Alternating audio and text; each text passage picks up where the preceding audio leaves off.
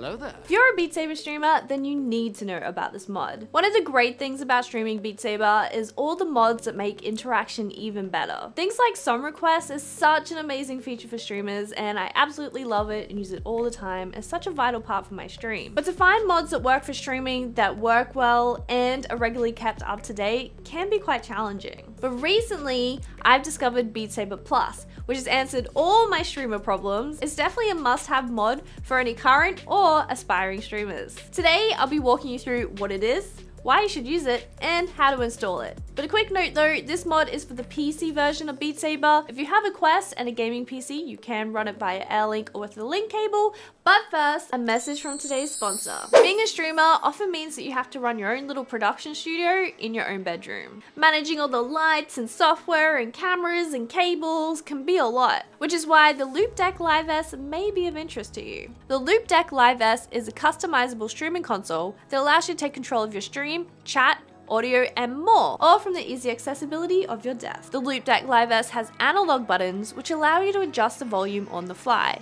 You can set it up to your microphone or voice chat or even in-game audio. You can set up all the buttons to manage different aspects of your stream, like OBS scene changes, camera angles, or even enabling funny sound effects. My favorite part about this console is that all the buttons are touchscreens, so you can easily swipe to see what other buttons you have in your console. You don't have to worry about folders or anything, which is a real nightmare. There's also extra tactile RGB buttons on the side, so you can set them up for your favorite shortcuts or macros, there's a huge amount of support for different software and plugins. Loupedeck have been making editing consoles since 2016, so they really know what they're doing. And you can check out their Indiegogo campaign if you want to pre-order the Loupedeck Live S, which gives you massive discounts, which won't be available later on. The Indiegogo only goes until June 30, so you have to jump in now if you want to get your hands on one and get those discounts. I think this device looks really cool, so make sure to check out the Indiegogo campaign, and a massive thank you to Loupedeck for sponsoring this video. Now, back to Beat Saber modding. In the past, you've needed different mods to manage different aspects of your stream, and one of the most frustrating things with all these different mods is that they're most often not kept up to date, and whenever there's issues or bugs, it's really hard to know who to reach out to to get help with it. I'm always super grateful for anyone who spends their time creating mods for Beat Saber. It's a massive part of the community. And the modders for Beat Saber are the real heroes. But when I don't have my song request working, then my chat gets a bit grumpy. So having these mods is a vital part of my stream. But this Beat Saber Plus mod pretty much does it all. And most importantly, it's regularly kept up to date and developer is always taking on feedback and suggestions from the community, which is really awesome to see. The mod has integrations like chat. You can read your chat from within the game and also enable the ability to see new follows, subs, and bits. You can change width and height of the chat window that shows up in front of you and also the color and opacity. You can see the viewer count if you want to, you can press the lock icon to move around the window to where you want it to be, and then press the lock again so it's locked in place and you don't accidentally move it. The mod also supports song requests. In the settings, you can limit who can request songs and how many. But also, you can limit what type of songs people request. I tried to limit the length of my songs so people aren't requesting 10 minute songs, and you can also limit the amount of downvotes a song have so people aren't requesting bad maps all the time. You can then navigate to the chat request window to see your whole song request queue and the history, so if you accidentally miss one or want to play it again, and you can easily close and open the queue on the left. Or your mods can use the command. So there's a whole bunch of commands you can use as well, request songs and change the settings within the chat as well. This song request tool just just works really well. It's really user friendly and there's so many settings and things you can tweak as well.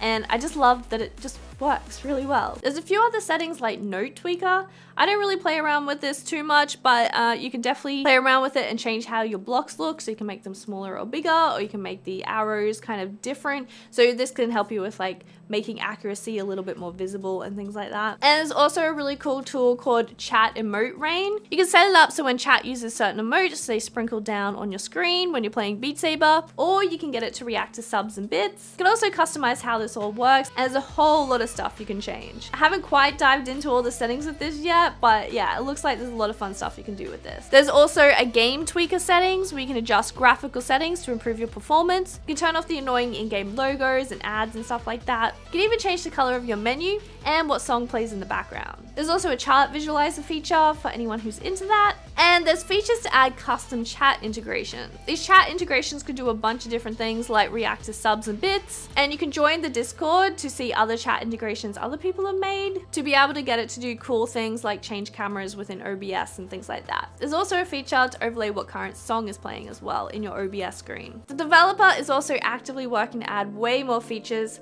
Currently, there is YouTube support if you're part of the Patreon. So if you stream on YouTube, you can get access to that where you'll be able to see the chat and have some requests through YouTube, which is really, really cool. And there's also multiplayer support coming soon. And maybe even some TikTok support. That would be really cool. To download and install this mod, the best place to go is the Beat Saber Plus Discord and head to the releases channel. There's multiple versions depending on what version of Beat Saber you're running as well. Once downloaded, you'll need to extract the files using an unzipper tool then copy the files into your Beat Saber plugins folder, which can be found where your Steam or Oculus library is located. Then navigate to the Steam apps folder, then the common folder, then select Beat Saber folder, and then find the folder that says plugin. Then we want to copy all our files into that folder. Once you boot up the game, it should open a web browser on your computer, and from here, you'll need to link your Twitch account. We'll need to select get token, and then it will prompt you to log in with your Twitch account, and then under Twitch channels, you can add your Twitch account there as well, so just type in the name.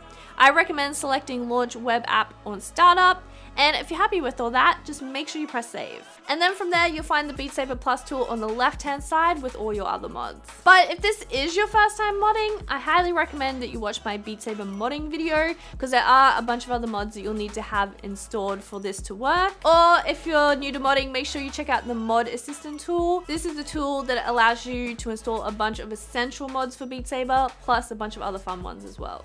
But that pretty much sums it up. I know how much of a lifesaver this mod has been for me, and for the longest time, I didn't know existed. I kept having people mention it, I'm like, what? What are you talking about? And now I've discovered this mod, I'm just, I'm really grateful and happy that it exists, and I know it'll be really helpful for other streamers as well, so I wanted to share the news. And if you are a Beat Saber streamer, make sure to link your channel down below so we can all support each other, and of course, follow my Twitch channel as well, where I stream Beat Saber very regularly. And if you found this video useful, don't forget to leave a like, and I'll see you in the next one. Thank you.